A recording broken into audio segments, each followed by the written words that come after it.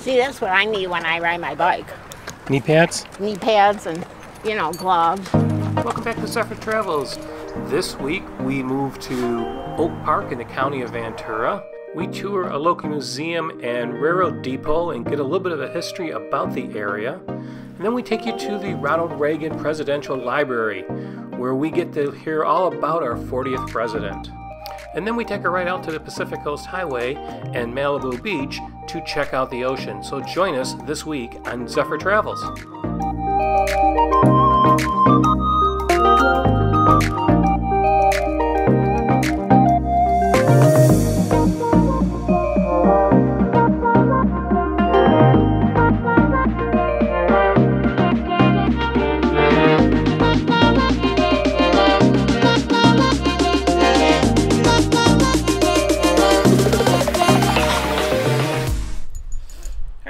I'm Randy.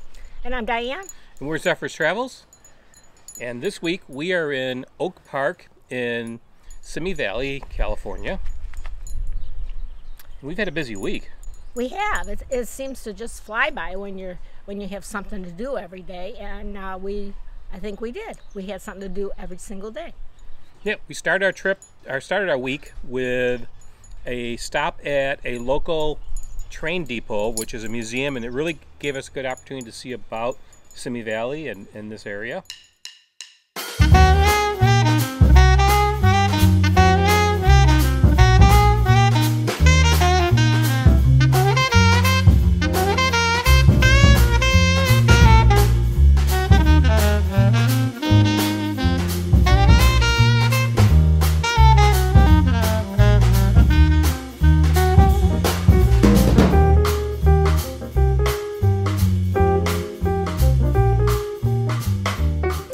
And there was a man there, a wonderful man, who, since it was not busy at all, was able to devote his his hmm. entire time to us. Yeah, he gave us a very personal tour of right. the depot and what it was like to be working at the depot and everything, and that train life. It was really interesting. Yeah, that was very interesting.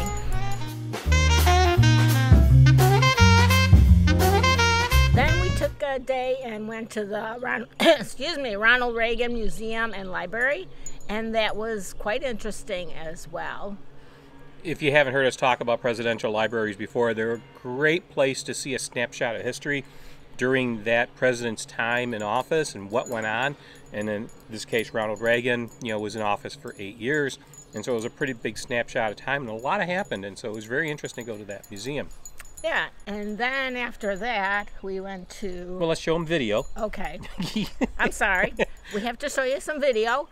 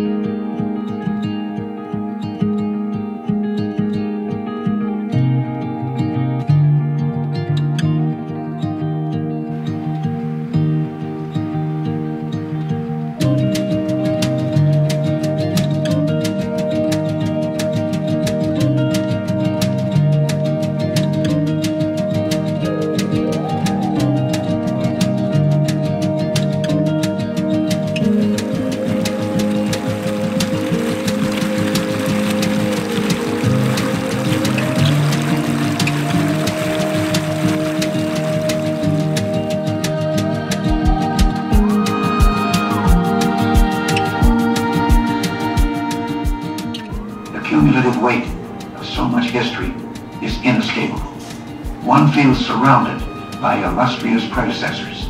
So much so, in fact, that out of respect for this office and the events which have transpired in it, I almost never remove my suit coat. Of course, you can take your work seriously without taking yourself that way. Among the signs on the desk is one that reads, there is no limit to what a man can do or where he can go if he doesn't mind who gets the credit. Not a bad philosophy, especially in Washington, D.C., a city of tall monuments and even taller egos. Mr. President, your meeting is starting.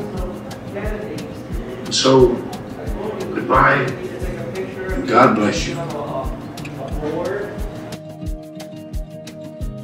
The museum starts you out with a look at Ronald Reagan's early family life, uh, growing up in California, being a football hero, and then his aspirations into politics, where he eventually became the governor of California, and then that led him to eventually the White House and running for president.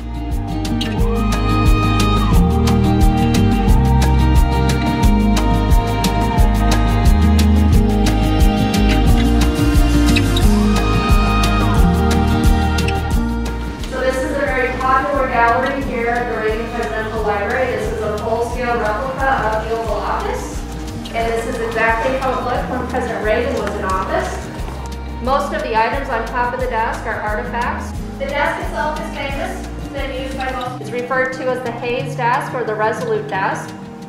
It was gifted to President Hayes by Queen Victoria and made from the timbers of a British ship called the HMS Resolute, hence why it's called the Resolute desk or the Hayes desk. There's only been a few modifications to the desk over the years. The panel on the front of the desk was added by FDR hide the fact that he sat in a wheelchair behind the desk.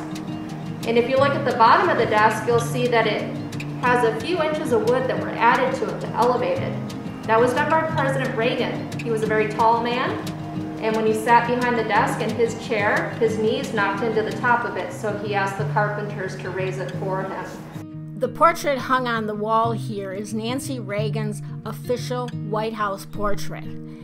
And as you go by that, you enter a section of the museum which is devoted to Nancy Reagan. And on display are several of the outfits that she wore during the presidency.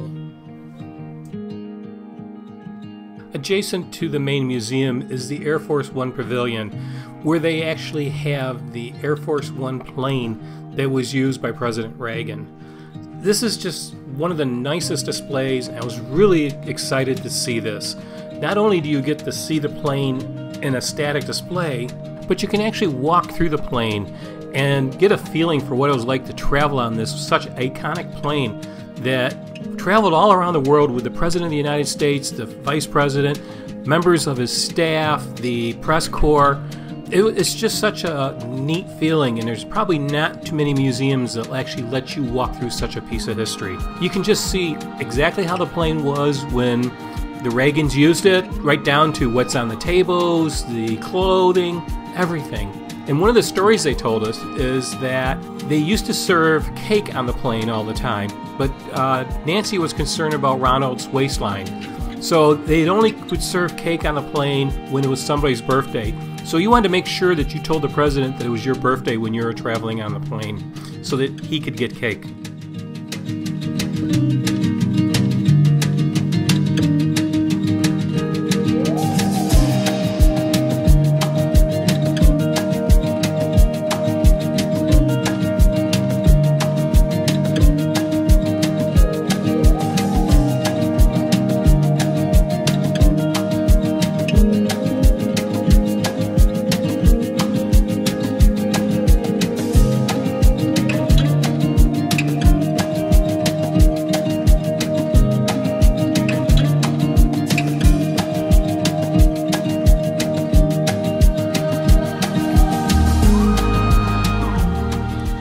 Well, we're here on the grounds of the Reagan uh, Library and uh, Museum, and we just did the tour through that. What did you think?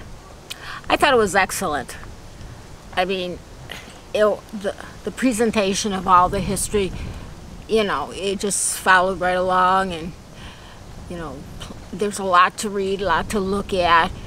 There's short films to see, and it really gives you the true history of Ronald Reagan and Nancy Reagan, his presidency, the two terms he had in office, his life after the presidency, where he, when he suffered from Alzheimer's, Yeah. and uh, a little bit about their family life.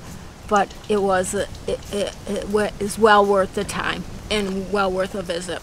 Yeah, and they have uh, Air Force One that you can uh, tour through, and a Marine helicopter. Mm-hmm. So it was very, very enjoyable. Yes, yes, it's excellent. It's located in um, Simi Valley. Simi Valley, California, Yep. and uh, yeah, so yeah, it, it like I said, it's it's well worth your time, well worth a visit. So what are your thoughts of this campground? It was just okay. A lot of the campgrounds we we stay at because of location, because of the attractions or you know other things we want to do in the area. Um, and this, you know, it served its purpose.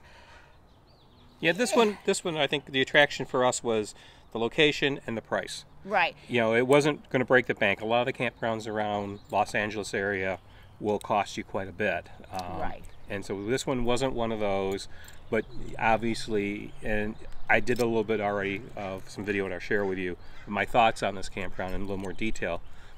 I want to take a minute and share some thoughts about our campsite. It's not something I normally do.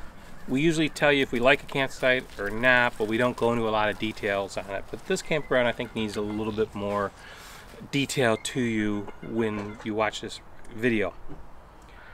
This is a very convenient campground for getting into the northern part of Los Angeles. You're about 35 minutes from Burbank, so you can easily drive in there. You're one mile from the expressway. In fact, you can almost hear the expressway in the background. Um, so it's a quick and convenient campground for that. But it's not the nicest campground we've been to. And the reason I say that is it's really, it could be better kept. They could take a little more pride and clean it up, you know, between visits and such. Um, the grounds are mostly dirt, and you've got mulch and leaves and sticks on it. No grass, which is kind of a downside from that perspective. The picnic tables, as you see in the video, are kind of old. Um, they're actually cemented in place um, so that you can't move them on your campsite. Uh, so if it's unlevel, it's unlevel. You're kind of stuck with that. But on the plus side, and uh, one of the reasons this campground really worked out for us is that it's reasonable for California. Our stay was less than forty dollars, just under forty dollars, and that included two dollars per day per dog. So you know, it's about a thirty-five dollar a night campground plus the up fee for having pets. So in that aspect, for California, that's pretty reasonable. We have electric and water. There's a dump station on site, so we were able to dump the tanks. We were here for about a week and a half, so we needed to move the trailer midweek and dump the tanks, and we'll have to do it again today when we leave. So from that perspective, it, it was very worthwhile for us to use this campground.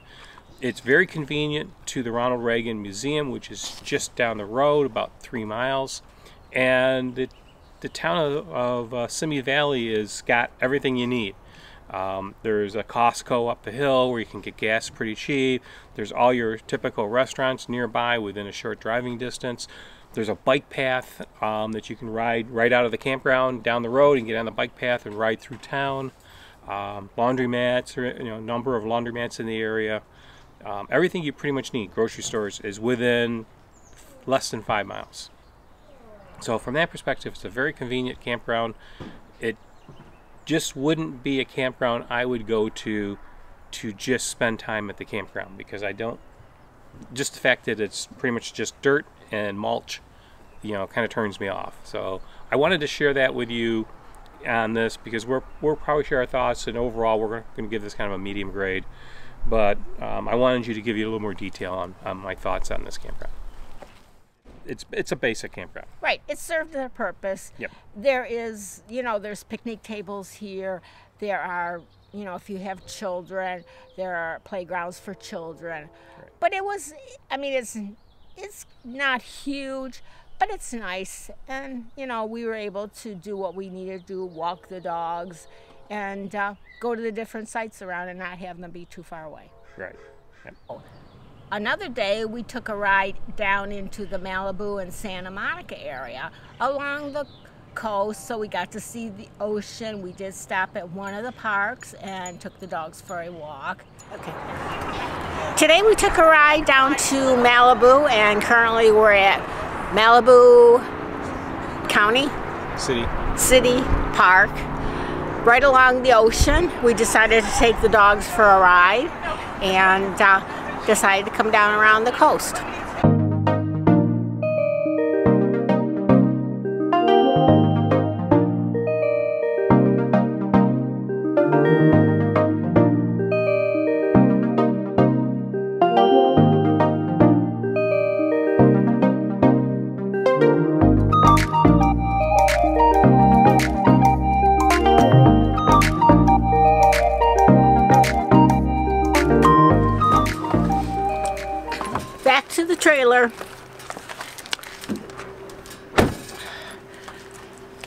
Drove down to the coast, drove along Pacific Highway through Malibu and Santa Monica. It was extremely crowded, um, which may be normal for the weekend in both those locations, but a lot of people on the beach, surfing, just sunbathing, just walking along, and it, it was a nice afternoon.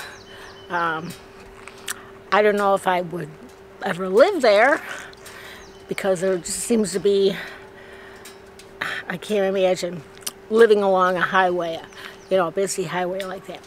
But we don't, and we probably won't, so it's not a concern. But it was a nice drive. Nice sunny day. This is where we're going to end this week's video at Oak Park, but stay tuned for next week when we head to the Petersen Museum to see the James Bond exhibit of cars. We go down to Universal City Walk to check out the shops, and something I've been looking forward to, we get to tour Walt Disney's Carolwood Barn in Griffith Park. So be sure to check out our next video.